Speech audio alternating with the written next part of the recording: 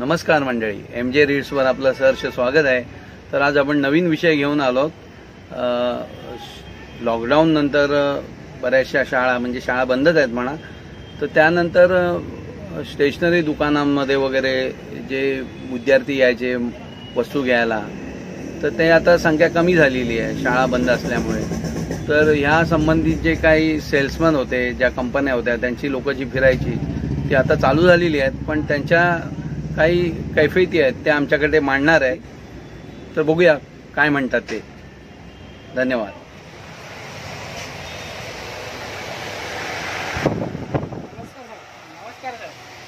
बोला. मध्ये काय लागेल सध्या शांत आहे सगळं. तरी पण तुम्ही दाखवण्याचा प्रयत्न करा आम्हाला. आम्ही बघू. बघा कॅटलॉग बघा काय तुम्हाला लागेल. ऑर्डर द्या. तुमची रडगाणी काय ती पहिली सांगा.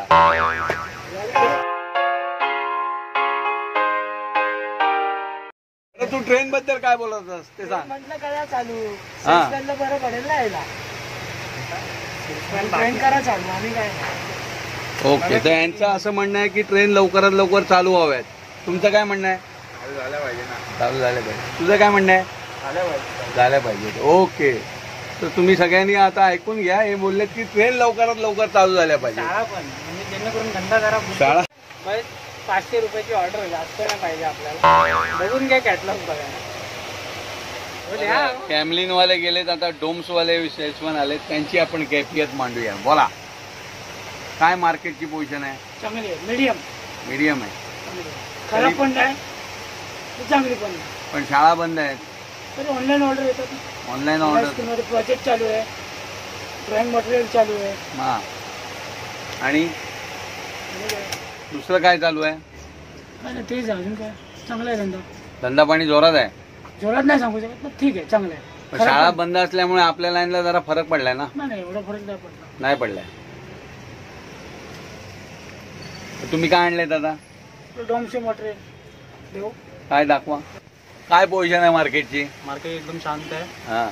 ट्रेन वगैरे पूर्ण बंद आहे स्कूल कॉलेजेस बंद आहेत. हा. त्यामुळे स्टेशनरी प्रोडक्टमध्ये काहीच ऑपटेक होत नाही. बरोबर. जोपर्यंत लोकल ट्रेन चालू होत नाहीत तोपर्यंत काहीच होणार नाही. सगळे बिझनेस टप्प आहेत सगळ्यांचे जॉब चालले आहेत. आणि प्रत्येक सामान्य माणसाची अवस्था खूप बिकट आहे. ते लवकरात लवकर सगळं चालू व्हायला पाहिजे. ते तर व्हायलाच पाहिजे आणि सरकारने- प्रिकॉशन घ्या तुमचं मास्क लावा पण कामा करा. असं म्हणायचं आहे तुम्हाला. हो काम तर आता करायलाच पाहिजे. नाहीतर हे त्याशिवाय घर पोझिशन चालणार बेकार नाही. येणार आहे. आणि याच्या पुढची परिस्थिती जर असंच असेल तर अजून बेकार आहे. हा, म्हणजे हे लवकरात लवकर सगळं चालू व्हायला बस. पाहिजे असं तुमचं बस. तुमचं सर जितना जल्दी ट्रेन चालू हो जाएगा पहले जैसा स्थिति जैसा हो जाएगा तो सब कुछ धीरे धीरे पटरी पे लौट जाएगी हाँ? और सब लोग स्ट्रगल करेगा संघर्ष करेगा हम अपने देश की तरक्की के आगे के विकास के लिए हम लोग। मेहनत करेंगे स्ट्रगल करेंगे और हम लोग एक साथ मिलके काम करेंगे। ओके ओके रिटेलर हाँ। कस्टमर सब काम करेंगे सब खुश रहेंगे। पहले जैसा स्थित हो जाएगा। ऐसा है। तो जल्दी से जल्दी सब चालू होना तो जल्दी से जल्दी सब चालू हो जाए और सब अपनी पटरी पर आ जाए और भगवान से सब लोग कामना करें सब पहले जैसा ही हो जाए जो लोग बीमार हो वो लोग सुखी हो जाए। हम्म? और सबको जॉब मिल जाए हाँ।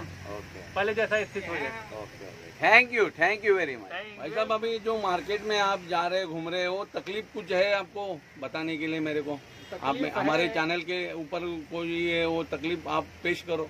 तकलीफ़ है उसमें जगह सब लोग दूर से आते हैं तो वो लोग ट्रैवल दो दो तीन तीन घंटा बस में लगता है। हम्म, वो तकलीफ़ देता है। हम्म, और जिसके पास वो गाड़ी रहेगा उसको कोई इतना तकलीफ़ नहीं है। बराबर। यानी जो कल्याण से आते हैं विरार से आते हैं उसको बहुत ज़्यादा तकलीफ़ है। बस में तीन तीन घंटा लगता है।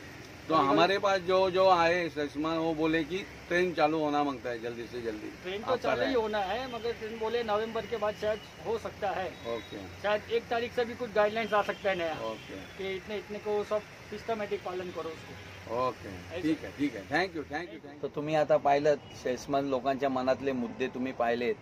तर असेच फक्त स्टेशनरीचेच नाहीत. तर आधी आणि कित्येक कित्येक प्रकारचे जे सेल्समन आहेत त्यांची पण ही परिस्थिती आहे.